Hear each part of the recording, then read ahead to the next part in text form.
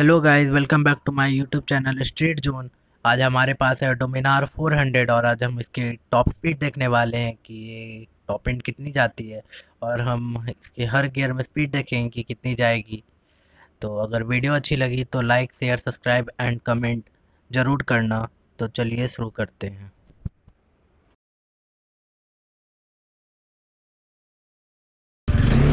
first gear